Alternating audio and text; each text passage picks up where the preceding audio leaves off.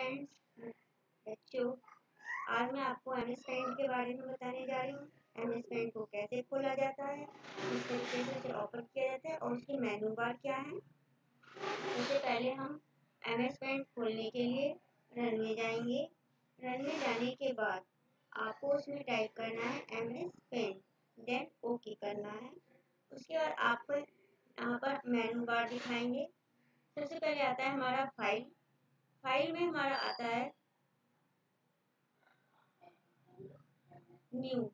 New में है हमारा, न्यू से हमारा आएगा न्यू पेज। इससे हम कोई भी पेज नया क्रिएट कर सकते हैं। न्यू पेज से हमारा नया पेज खुल के आएगा उसमें हम कोई भी वर्क कर सकते हैं। नेक्स्ट आएगा हमारा ओपन ओपन में होता है हमारा, कुछ भी हम उससे ओपन कर सकते हैं। इसकी शॉर्ट की होती है कंट्रोल प्लस ओ नेक्स्ट उसके बाद आएगा हमारा सेव सेव का ऑप्शन होता है इसकी की होती है control S sorry control S इससे फ़ाइल को हम सेव कर सकते हैं। नेक्स्ट है प्रिंट प्रिंट में हम कोई भी चीज़ प्रिंट कर सकते हैं।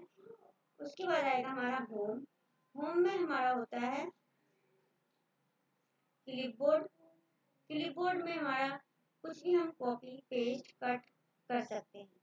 फिर हमारा इमेज इमेज में हमारा आएगा सिलेक्टेड एरिया क्रोप रिसाइज और रोटेट नेक्स्ट है टूल टूल में हम कुछ भी पेंसिल ले सकते हैं.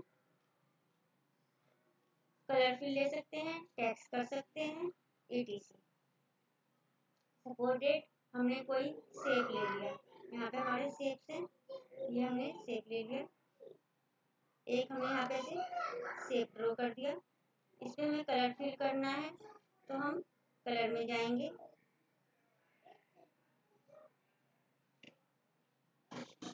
ये हमारा ब्लैक कलर आ गया। हमें कोई और कलर चाहिए तो हम कलर में जाएँगे। यहाँ से हमें जो भी कलर चाहिए, वो हम कलर ले लेंगे। बेटा, जहाँ भी आपको कोई प्रॉब्लम हो, आप मुझे डिस्क्रिप्शन में भेज सक, पूछ सकते हो। जो भी कोई दिक्कत हो, आप मुझसे कई बार रिपीट कर सकते हो और पूछ सकते हो। सिलेक्टेड से हम कोई भी चीज़ सिलेक्ट कर सकते हैं। यहाँ से इस एरिया को पूरे को सिलेक्ट करना अब हम इसे कहीं भी मूव कर सकते हैं। कहीं भी मूव करो। कहीं भी कुछ भी करो। इससे हमें कोई फ़र्क नहीं पड़ने वाला। ठीक है? सेप कोई भी सेप ले लो। इसमें इरेजर भी होती है।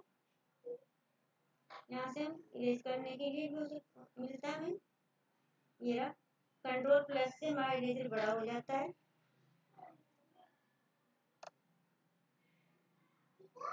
ये तो मैंने आज आपको ऐसी चीज़ें बताई जो नॉर्मली हर बच्चे को आता है, हर पर्सन को लगभग आता है। मैं ये स्टार्टिंग है, इस वजह से मैंने आज आपको एम एस पेंट के बारे में बताया। एम एस पेंट में हमारा ऊपर जो होता है, वो है मेनू बार इसे हम मेनू बार कहते हैं।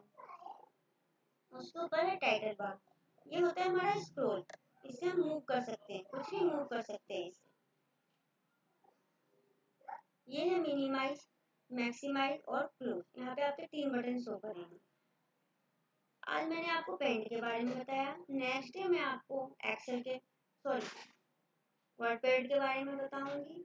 ऐसे ही आपके जितना भी बेसिक का है, एक एक चीज़, एक एक चीज़ धीरे धीरे मैं स्टेप बाय स्टेप आपको समझाती जाऊँगी जहाँ भी आपको कोई दिक्कत हो, आप मुझे उस उस चीज़ के बारे में उस ऑप्शन के बारे में आप मुझसे डिस्कस कर सकते हैं।